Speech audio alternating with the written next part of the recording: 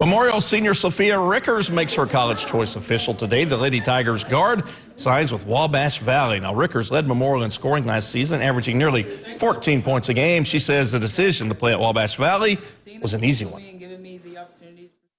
Felt great. It, it, felt unbelievable. Like you never think you'll be doing that growing up. You always wish to play college basketball, and then whenever you finally get there, it just it's amazing. It's a feeling you can't really describe. But I've worked so hard for this moment, and I never imagined I'd be the one actually signing.